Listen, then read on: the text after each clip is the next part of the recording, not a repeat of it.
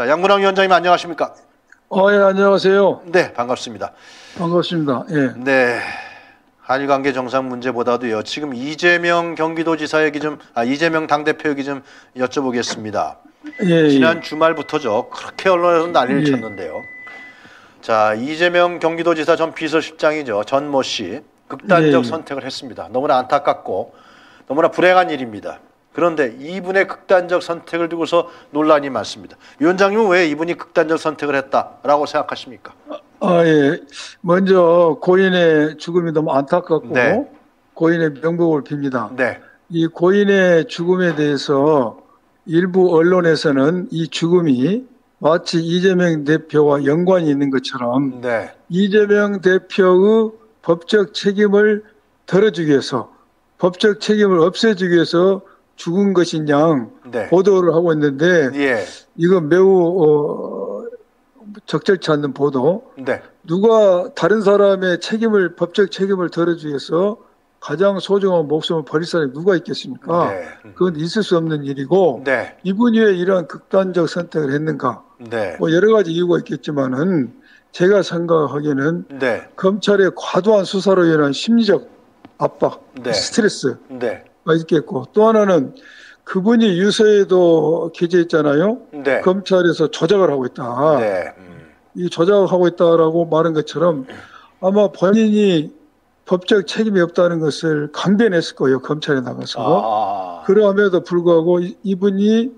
피의자 신문 조서를 받고 피의자로 입건이 됐다는 거 아닙니까? 네, 네, 그러면은 자기 억울함을 아무리 항변하도 음, 그게 통하지 않았고 피의자로 입건됐을 때 느꼈을 느꼈은 어떤 무력감, 네, 엄청난 무력감을 느꼈을 거예요 공권력 앞에서. 네, 또 하나는 유서에 나온 것처럼 평생 일만 열심히 했다. 네, 그런 사람이 그런 분에 대해서 그런 분들이 굉장히 공직에 있을 때 했던 일에서 명예 감정을 가지고 있을 텐데 음, 이걸 피의자로 입건됨으로써 평생 쌓아오는 그 공무원으로서 공직에 대한 명예가 완전히 무너지고 범죄자로 됐을 때 어떤 그 명예의 상실감 네, 이런 모든 게 복합적으로 작용해서 네. 이런 극단적 선택을 하지 않았을까 하는 그런 생각이 듭니다. 네, 좀 더 자세하게 좀 뒤에 에, 여쭤보도록 하고요. 예, 예. 우리 양문남 위원장님은 전에 부산고검장을 하셨죠. 이 검찰의 행태와 예, 예. 검찰의 관행, 검찰의 수사 과정 이런 거 너무 누구보다 잘 아실 것 같은데요. 예, 일단 근데 예. 일부 언론에서요. 예, 예. 일부 언론이라고 할 수 없고요. 전 언론이라고 보여지는데 예, 예. 이재명 대표는 이제 정치를 내려놓으십시오. 그래서 예. 일단 이 말씀부터 좀 드릴게요. 우리가 이 한 분의 극단적 선택을 두고서 이렇게 우리가 얘기를 해야 되는 게 너무 안타깝고요. 참담, 예. 참담하다 그런 말씀 먼저 드리고 어, 위원장님한테 다시 질문, 질문을 드리겠습니다. 그 유서에 네. 이재명 대표는 이제 정치 내려놓으십시오라고 밝혔다고 그냥 지난 주말에 그냥 모든 언론이 보도하지 않았습니까? 네, 그렇죠. 이 문제 어떻게 예, 보십니까, 위원장님? 네. 지금 이재명 유서에 이 대표는 이제 정치를 내려놓으십시오. 이 문구를 가지고 네. 전 언론에서 엄청난 보도를 했죠. 네. 근데 저는 먼저 네. 이 내용이 뭘 의미하는지에 대해서는 네. 우리가 문장에 단장 취의를 해서는 안 되고 네. 유서 전체를 읽어보고 네. 유서의 전후 맥락에서 네. 이 말이 어떤 의미를 갖는지를 파악하는 게 매우 합리적이라고 저는 생각이 듭니다. 네. 그런데 어, 언론에서는 이게 바로 이 대표에게 법적 책임이 있다는 표현이다는 음, 뉘앙스로 보도를 하고 있는데 네. 이건 매우 경강부회식 해석이다. 검찰적 해석이라는 생각이 들고 저는 오히려 네. 이게 법적 책임이라는 의미가 아니라 네. 정치를 내려놓으십시오. 음, 즉 정치하지 마십시오. 더 나오면 대선 후보 되지 마십시오. 그러면 정적도 되지 않을 것이고 음, 수사도 받지 않을 거 아닙니까? 네. 저는 그렇게 해석하고 싶어요. 네. 법적 책임 의무가 아니라 네. 이재명 대표가 대선 후보가 되고 정치에 나오니까 음. 이 정적을 죽이기 위해서 이 정권 이런 수사를 하는 거 아닙니까? 네. 그러니 네. 정치 그만하시고 편히 사십시오. 저는 그런 의미로 해석이 되지 네. 이 의미가 이재명 대표 당신 법적 책임이 있으니까 음, 정치하지 마라. 그런 의미로 저는 해석이 되지 않습니다. 근데 위원장님 그 원래 유족들은 그 여섯 쪽이 예, 유- 유서라 그러는데 다섯 쪽은 개인 가, 가, 족들에게뭐 남기는 말이라고 한 쪽이 결국은 이제 좀 다른 측면이 있었던 것 같은데 유족들은 유서를 공개하지를 원치 않았다 그러지 않습니까? 그래 저도 이게 언론에 네, 유족들은 유서를 유서 공개에 대해서 강력히 반대했다는 거 아닙니까? 네, 그런데 왜 이런 내용이 언론에 공개되냐 이겁니다. 네. 그 누가 공개했겠습니까? 그래. 네. 검찰인가요? 유족이 반대하는데 네. 이거 수사기관에서 공개한 거 아닙니까? 음, 음. 수사 유족이 유족이 반대하는 유서를 수사관이 공개하고 네. 언론이 그걸 받아서 유서를 이 정치적으로 이용하고 있는 게 참 개탄스러워요. 네. 참 누가 이 이것도 이건 법적으로 문제 안 됩니까? 유족들이 반대하는데도 수사기관에서 이걸 공개했다는 거는요. 어, 문제 됐죠 법적으로. 예. 네. 그 이분 그러나 또 다른 보도는요. 검찰 수사가 예. 조작됐다. 또 이런 얘기도 나오고요. 그렇죠. 네. 예, 조금 전에 그 제가 조금 말씀드린 것처럼 그 유서에 네. 검찰 수사가 조작됐다는 표현도 있지 않습니까? 네. 그러면은 이 정치 내려놓으시오라만 자꾸 언론에서 크게 클로즈업 할 게 아니라 네.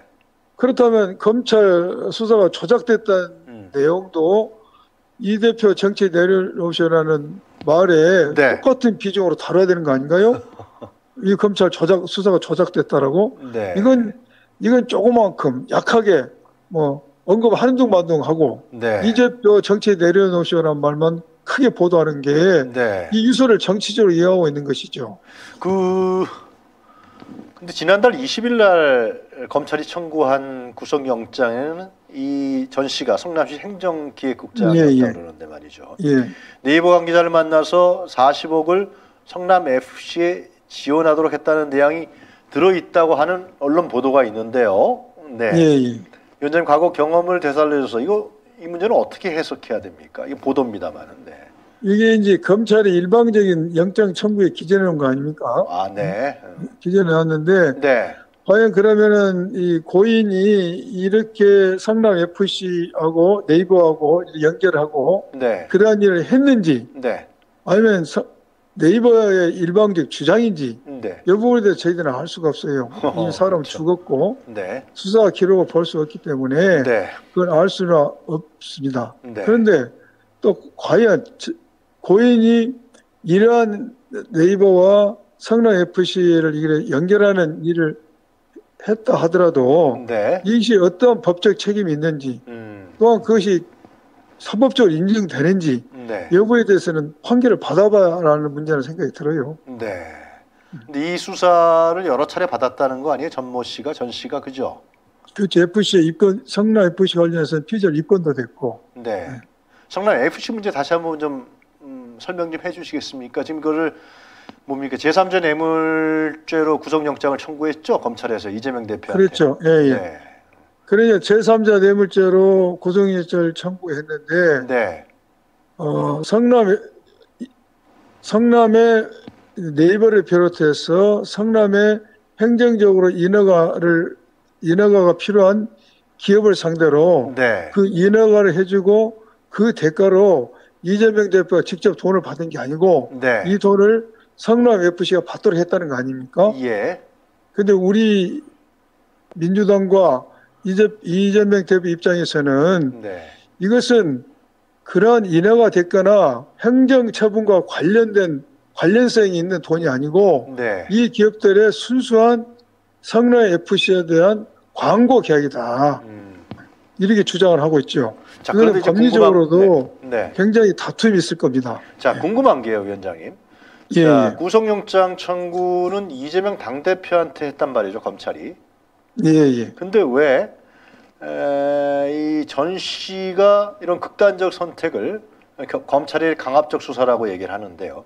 극단적 네. 선택으로 몰고 가게 아니면 이분이 이러한 결정을 내리게 된 것은 왜 그렇다고 생각하세요? 위원장님 과거 어, 검찰에 있었던 경험을 했을 때 어떠한 부분이 작용했다고 보십니까? 청구는 이재명 이게- 당대표한테 했어요. 네. 이게 멀쩡하던 사람이 죽었어요. 네. 근데 그 과정에 변화가 있다면 수사가 있었어, 수사가 있었던 겁니다. 네. 그, 이거 수사를 하게 되면은 엄청나게 이제 주변에 압박을 할 거 아닙니까? 네. 그런 압박을 견디기 어려운 것이죠. 음, 주변에 어떤 압박을 가했다고 추정하십니까? 위원장님 보시기에는? 어, 이게 본인이 조사를 받는 거, 뭐, 이렇게 이재명 대표, 이재명 대표와 어떤 연관성이 있는지, 음, 또 본인의 어떤 개인적인 뭐가, 뭐는 없는지, 음. 이걸 전방적으로 파악을 했을 거예요. 아, 예. 그 방- 조금 전에 말씀드린 것처럼, 아, 나는 억울, 나는 억울하다. 네. 나는 이- 그러한 일이 한 일이 없다. 예. 아마 이렇게 이야기도 했겠죠. 그러니까 조작이란 말이 나왔겠죠. 네. 그런데 그런 말들이 전혀 반영이 되지 않고, 음, 이러니 얼마나 본인이 답답하겠습니까? 자기 일단 결, 하소연할 데도 없는 거 아닙니까? 이렇게 되니까 아, 극단적 선택, 극단적 예. 선택을 하는 거죠. 극단적 선택에 대한 배경은 자기 결백에 대한 항변 의미도 있다. 그렇게 판단하시는 그렇죠. 거예요? 항변 의미도 있는 거죠. 어, 내가 아무리 말을 하도 네. 이게 받아들이지 않으니까 이 극단적 선택을 하는 거죠. 그럼 오- 올가 매져 있는 상황도 있었다는 건가요? 검찰 수사에서 예를 들면 이분은 뭐 지금 영장 청구라든가 이런 건 없잖아요. 영장에는 나와 있지만 이분의 이름이 그렇죠. 영장 청구는 하지 않고 네, 영장 범죄에서 나오는데 통상의 경우에 네, 이게 수사를 하잖아요. 그럼 과연 어, 떤 지방자치단체 장이 네, 불법적인 저질 불법적인 일을 저질렀다. 네, 그래서 그 장에 대해서 우리가 수사로 피의자를 입거나 해도 네. 그 밑에서 일을 도왔던 실무자들은 통상 입건을 잘 하지 않습니다. 아 그래요. 어, 예. 근데요. 입증을 하지 않는데 네, 여기는 이분은 입건을 했어요. 네. 이재명 대표 책임이 법적 책임이 있는지 여부는 차치하고 아이 사람은 입건했구나. 어. 아, 차치하고 네. 이 밑에 실무를 하는 사람들은 통상 입건을 하지 않죠 수사에서. 어허. 근데 이런 사람까지 입건했다는 것은 수사에 굉장히 이제 강동 강공을 딘 거죠. 굉장히 많은 협박을 받았을 수도 있겠네요. 어? 그렇죠. 입건을 예. 했기 때문에 어, 너도 어떻게 예. 될지 모른다. 예를 들면은 아마 입건을 하면서 여러 가지 회의도 했겠죠. 어, 회유도. 어. 어, 이재명 대표에 대해서 검찰이 원하는 식의 진술을 요구받았을 것이고 음, 그러한 요구를 하면은 피의자로 입건 안 될 수 있다는 말을 했을 수도 있어요. 아, 심지어 굉장히 갈등도 느꼈겠죠. 네. 그런데 그- 본인은 진실을 이야기했을 것이고 음. 아 나는 책임이 없다. 계속 어쩌면 이재명 대표와 관련성도 부인하고 네. 없다고 이야기했을 겁니다. 그런데 그 모든 것이 받아들이지 않는 거죠. 아무리 이야기를 하도. 아, 예. 아, 그래서 결국 피의자로 입건이 되고 네. 그냥 더 이상 하소연할 수 없는 겁니다. 죽음으로서 항변하는 거죠. 아, 너무나 안타까운 얘기네요.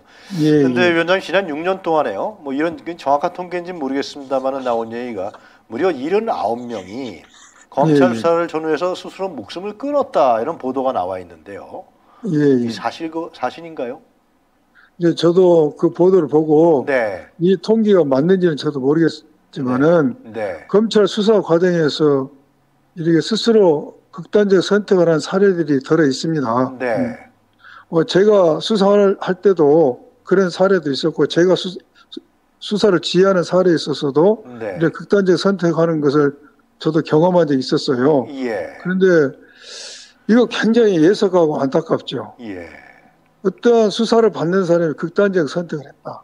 네, 여기에 대해서 네, 검찰은 더 이상 할 말이 없는 겁니다. 어, 반성 외에는 할 말이 없어요. 네, 이 수사가 장기화, 장기화가 되고 네, 그렇게 되면은 이 극단적 선택을 한 사례가 덜 있어요. 그러면은 우리가 수사 과정을 되돌아봐야 되겠죠. 음, 뭘 잘못했는지 이 수사 절차상 문제는 뭐가 문제되는 것은 없는지 이런 반성을 해야 되고 인권 침해는 이런- 없었는지, 음, 그렇죠. 음, 이러한 극단적 선택의 사례에 대해서 언론에서도 네, 검찰이 수사 과정에서 무엇가 있었기에 어떤 점이 있었기에 이런 극단적 선택을 한 것인지 어떤 수사 과정을 되짚어보고 그걸 취재해야지. 응? 절차나 제도에 문제점이 없는지 네, 이걸 초점을 맞춰야 되는 것이지 네, 지금처럼 음, 어떤 한 사람의 죽음에 대해서 정치적으로 어떻게 이걸 이용하려고 하는가 네. 이용하려고 어, 초점을 맞춘 것은 참 예상할 문제입니다. 자 이재명 당대표 생명을 이렇게까지 이용한다는 것은 참 안타까운 일이에요. 이재명 당대표가 검찰이 미친 칼질을 도저히 용서할 수 없다. 예, 예. 네, 정치 도구로 억울한 죽음을 활용하지 말라. 이렇게 한 상당히 오랫동안 기자회견을 했어요. 이 내용은 어떻게 보십니까?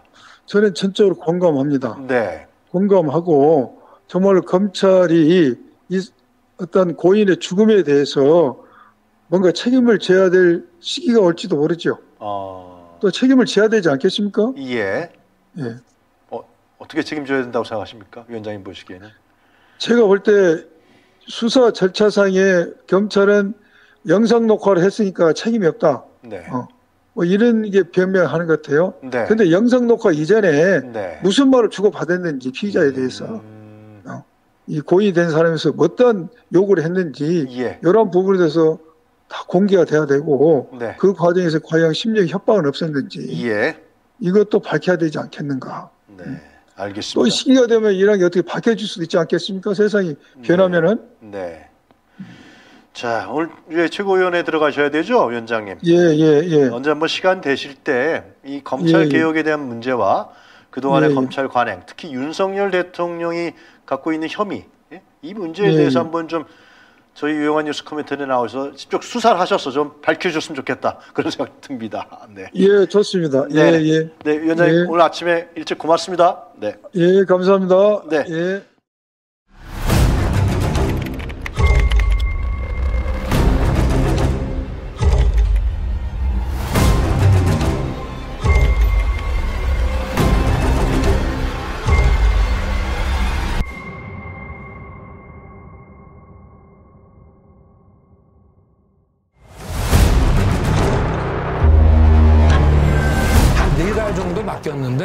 손실을 봐서 저희 집사람은 거기서 안 되겠다. 그 사람하고는 절연을 했습니다.